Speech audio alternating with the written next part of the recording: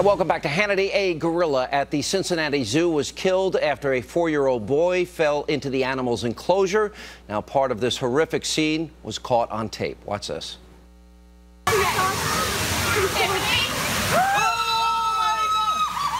my god!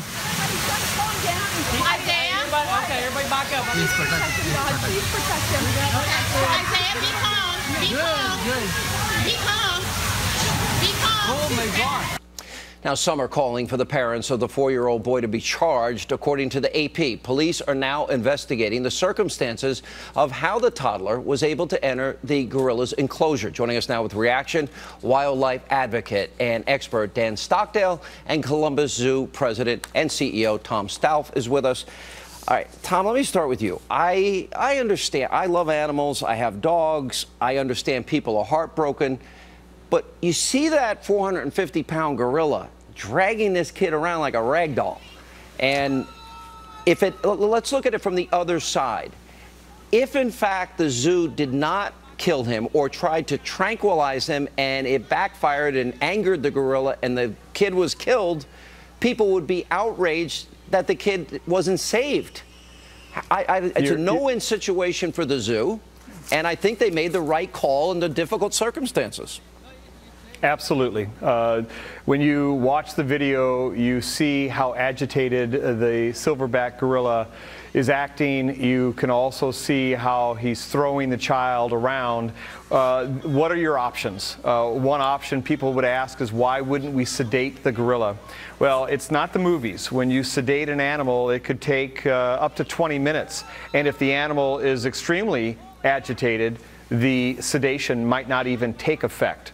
Uh, if the uh, sedative would have uh, been used as a dart from a rifle, that would have agitated the gorilla even more. Unfortunately, uh, it was uh, the right decision, and the Cincinnati Zoo uh, they they acted quickly with their response team to evaluate the situation, and uh, unfortunately, they had to make that call. That call is something that they have been performing in exercises and drills.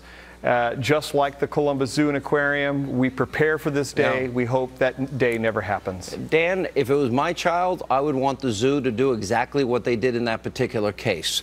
Um, your reaction, and I guess the only question is, how is this kid able to go through these different barriers and have this accident falling down? That's that's something that needs to be investigated.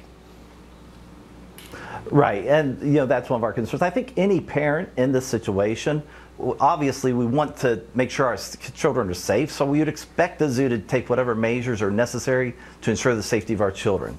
Yeah, I think that's understanding that anybody who's a parent has. Um, my concern on our end is a couple fold.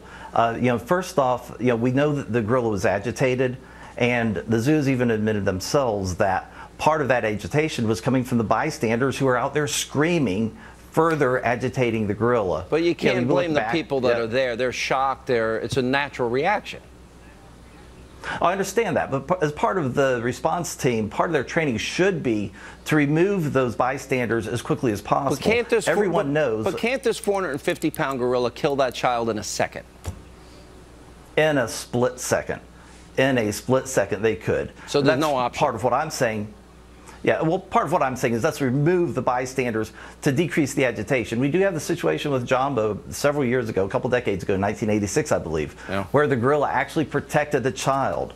And uh, you know, there's other measures they can do in preparation. Would and you want them to risk what this about, for your child? I wouldn't risk it. You have to. I think they had to make the No, decision. uh, yeah.